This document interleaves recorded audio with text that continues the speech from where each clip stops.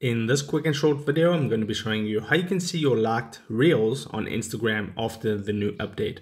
Okay, so what I'm going to do is I'm going to open up Instagram and the process is pretty straightforward and simple here. So what I'll do is I'll just go to the reels tab and like a few reels, okay?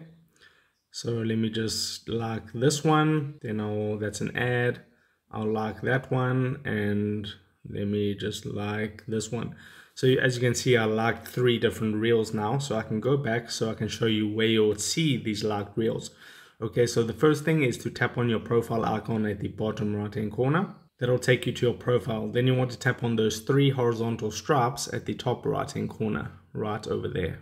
Tap on those three stripes and then you want to tap on this option right here that says your activity. So once you've tapped onto your activity, the thing you want to tap on now is interactions right there okay? So tap on interactions and then you just simply need to tap on the second option which is likes. I'll tap on likes. And as you can see it'll show you both the photos that you've liked as well as the reels and you'll see the reels will be represented by that reels icon right there. So then this is the list of all the reels and photos that you've liked. So you can tap on them again and watch them again if you want to can see that's a reel and these are the ones that I just liked in the beginning of the video. So you can also sort them however you want to sort them. So I could go tap on newest to oldest.